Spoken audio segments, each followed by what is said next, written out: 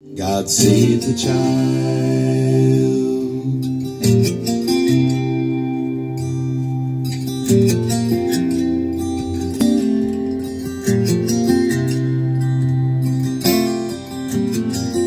Everywhere folks are fighting, nobody seems to know what for. No one's listening to the victims of a hundred.